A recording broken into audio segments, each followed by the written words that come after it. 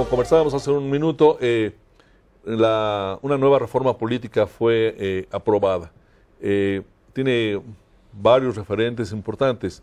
¿Cuáles dirías tú, José Antonio, que son los más importantes? Bueno, por un lado, para mí lo más importante es que se incorporan algunas figuras de participación ciudadana. Desde luego los ciudadanos independientes, que ya podrán ir por vía fuera de los partidos. Puede ser candidatos a cualquier puesto. A cualquier, menos, sí. Este, Pero hasta el 2015, que ya, ya, tendremos candidatos independientes a diputados, por ejemplo. ¿no? Sí.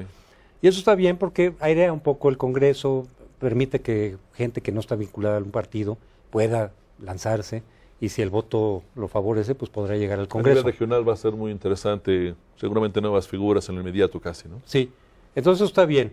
Y por otro lado también iniciativa este, ciudadana, donde puedas ya presentar un número determinado de firmas ciudadanas para que se incorporen y sean discutidas en el Congreso, consulta popular para algunas decisiones que son claves, es decir, las figuras de la democracia directa que no teníamos a nivel nacional, uh -huh. sí a nivel estatal en varias Así entidades, eh, que le dan elementos de participación a los ciudadanos. Ahora, lo que quedó fuera, que estaba ya aprobado por el Senado y, y fue echado fuera en la Cámara Baja, es algo que a mí también me, me, importa mucho, que son instrumentos de control ciudadano sobre tus gobernantes, sobre tus representantes. La también. reelección de legisladores. La elección legislativa, que es una anomalía de México frente a las democracias, el que no haya ese mecanismo de rendición de cuentas, o por ejemplo también la revocación de mandato, que en un momento dado cuando ciertos legisladores abusan del poder abiertamente o generan escándalos, los puedas remover aún antes de que terminen su mandato, sí. porque nos deja inermes frente a los ciudadanos. Entonces muchos hemos sostenido que en México los partidos buscan tu voto, eh, se, al dárselos los legitimas Pero no rinden cuentas. y luego hacen exactamente lo que quieran.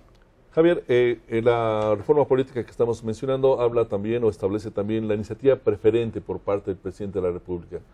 ¿Qué relevancia le otorgas a este tema? Sí, yo creo que esa lo que nos va a ayudar eh, es, sí, acelerar los tiempos eh, con, con, el legislativo, ¿no? ¿Cómo podemos explicarla con claridad? Esta... Básicamente de lo que se trata es de darle una, una, una, ficha de negociación adicional al, al, Ejecutivo, que consiste en que si él escoge dos, dos iniciativas al, al inicio de un periodo legislativo, el presidente puede escoger dos temas, dos asuntos, que tienen que ser discutidos en ese periodo legislativo, y si no, lo, y si, o si no son dictaminados en ese momento, tienen que ser votados el primer día de sesiones del siguiente periodo. Digamos, no hay una gran amenaza que sea, digamos, no hay una bomba nuclear si no se, si no se discuten, pero lo que tiene es un plazo específico de estos temas no se pueden ir a la congeladora, apruébalos o recházalos, ¿no?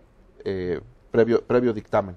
Y eso sí nos permite, eh, como decía yo, acelerar los tiempos de algunos temas, ¿no? Digamos, eh, veamos justamente lo que pasó con la reforma política. La reforma política se llevó más de año y medio, uh -huh. ¿no? En, en, su discusión y su aprobación. Bueno, si la iniciativa de reforma política hubiera sido presentada con iniciativa preferente, hubiera sido resuelta en la primavera del 2010. ¿Cuál ves que podrían ser las propuestas que un eventual presidente electo eh, pueda presentar a, ante la legislatura? Bueno, eso se supone que es parte de la negociación que podría tener el PAN con, con el PRI. Es decir, apóyanos en las partes de la reforma política que dejaste fuera, porque fue el PRI el que dejó fuera estas partes de reelección. Esto lo querría el PAN, digamos. El PAN está insistiendo porque ha sido defensor consistente de, por ejemplo, la reelección legislativa uh -huh. continua. So, ese tipo de cosas se podrían incluir todavía para redondear y perfeccionar la reforma política. Si es que le dan prioridad, a lo mejor no le dan prioridad de entrada, pero sería uno de los temas pendientes que podrían ser negociables con el PAN. ¿Tú te imaginas al PAN poniendo en la mesa de sí. inmediato este tema? De hecho, ya lo dijeron, que eso uh -huh. sería un interés de ellos para aprobar otro tipo de reformas en las que puedan coincidir también, eh, por ejemplo, laboral, energética, etcétera, que ha presentado Peña Nieto dentro de su plataforma.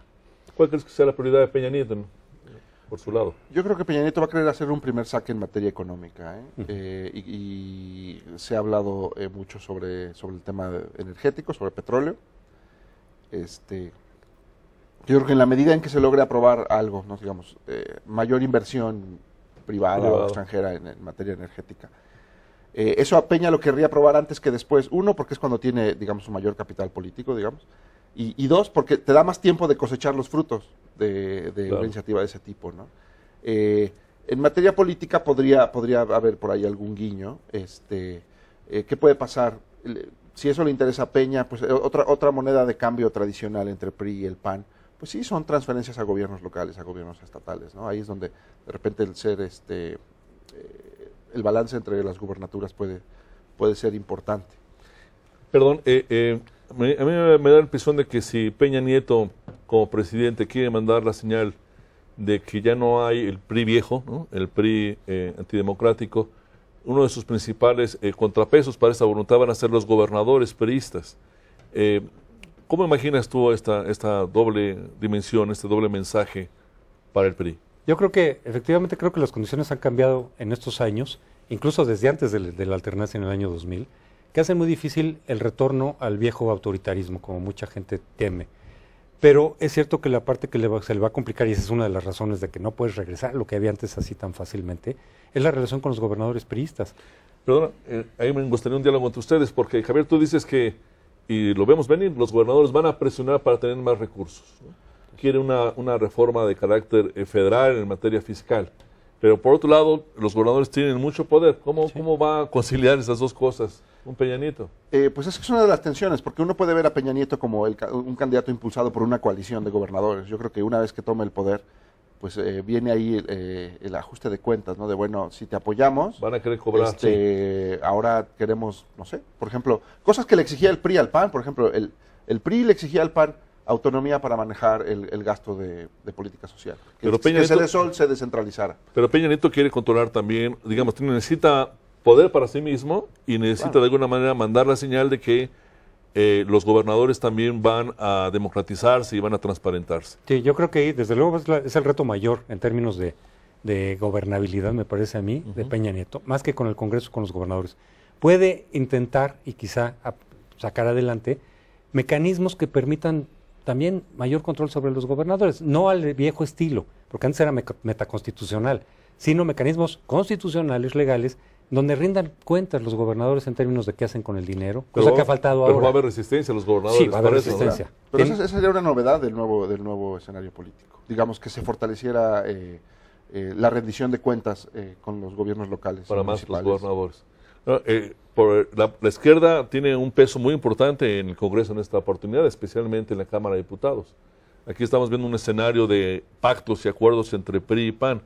La izquierda tiene eh, un papel que jugar ahí, pero también tiene el riesgo de quedar marginado, ¿no? Claro, es que, por ejemplo, ¿qué, qué pasó en 1997 cuando tuvimos la primera experiencia de gobierno dividido? Se formó el G4, ¿se acuerdan? Eran, era el PAN y los partidos de izquierda. Se pusieron de acuerdo la contra el oposición, digamos. Bueno, ¿no? hoy en día todo parece indicar que el Congreso va a quedar dividido a la mitad, ¿no? El, el- el PRI más la bancada del Verde más Nueva Alianza te suma 250 diputados. Así es. El resto son el PAN y los partidos de la coalición Otros progresista. 250 diputados. Son otros 250. O sea, la posibilidad está ahí de formar un bloque anti-PRI en el Congreso, por ejemplo. ¿Tú lo ves en ese escenario? No, yo creo que el PAN en ese sentido se va a ir por su lado para negociar de manera privilegiada las reformas que hacen falta. Y como decía, es la forma en la que el PAN puede recuperar credibilidad ciudadana. Pero en el PRD puede haber una fractura, quizá más, más claramente que en el 2006, porque hay desde luego legisladores obradoristas que a lo mejor mantienen una posición de reto y de confrontación, pero probablemente, lo decía también Javier, en la otra parte del PRD se va a ir deslindar después de que el tribunal emita su fallo final porque necesitan también una interlocución institucional con el nuevo gobierno.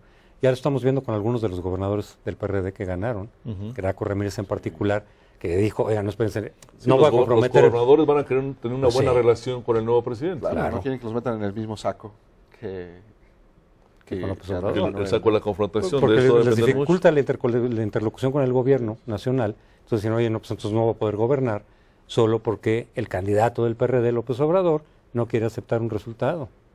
Esa fue la posición de Graco. Le tocó también al gobernador electo de Tabasco, eh, Sí. Núñez. Sí. El mismo reconocer que demostrar la compra de votos va a ser muy, muy difícil. Sí, así es, así es. A ver, Aparicio, doctor, te apreciamos mucho la presencia en la silla rota. Gracias. José Antonio, igualmente, ha sido un honor. Gracias a ustedes, nos vemos en la próxima.